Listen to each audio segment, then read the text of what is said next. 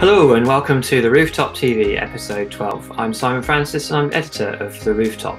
We're the home of good news worth shouting about.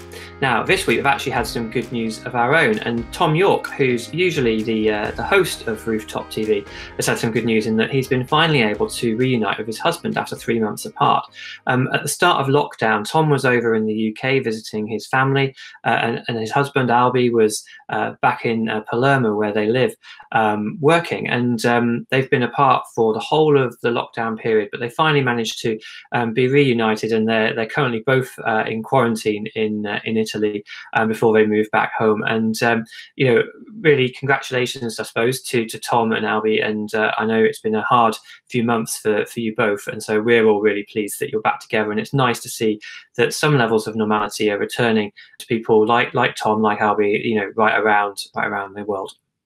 But there's also other good news that's been uh, happening this week that we've been reporting on for the rooftop. Um, first of all, I wanted to share a story about um, a homeless um, veteran, um, Anton Newcomb, who's a resident at um, uh, a, a, house, Mike Jackson House in, in Aldershot. Um, he's currently looking to try and get back into the, the army, into the Royal Logistics Corps, but obviously intake and training has all been suspended at the, at the moment. So he's been using his time to, to, to, to re-enlist, if you like, um, but in in a different front line. And he's um, um, been supporting the local hospital as a as a porter. Uh, in in the ICU unit, so having to wear full PPE, and I think you know, obviously, rightly, we focused a lot on uh, on nurses and and on um, on care workers and other frontline staff. But obviously, they all need the support of of people like like Anton and other porters and, and hospital workers who uh, clinical clerical workers who perhaps we, we just don't hear about so much. So so um, well done to Anton, well done to all of the other um, porters out there in the NHS who've been doing such a great job over the last few months.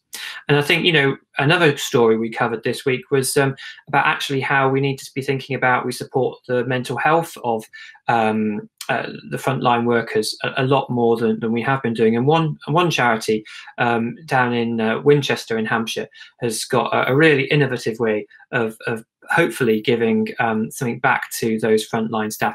They're crowdfunding at the moment for um, the ability to be able to provide respite um, for 100 um, nurses and frontline key workers. And they do that in quite a unique way. They actually do that um, through help giving them a break with horses.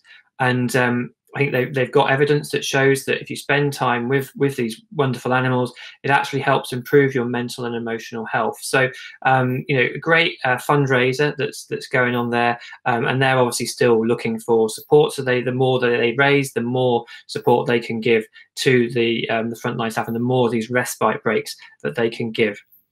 So, three uh, really great stories this week, and uh, hopefully, Tom will be back in the hot seat again uh, next week. Um, but um, for me, obviously, we're always on the lookout for more um, good news worth shouting about. Um, if you've got a story for us, please email it to editor at therooftop.news. That's editor at therooftop.news. Uh, we can't publish everything that we get sent, but we do read all your emails, and we love reading about the positive news um, that's happening out there. So, um, that's all from me. We'll be back next week.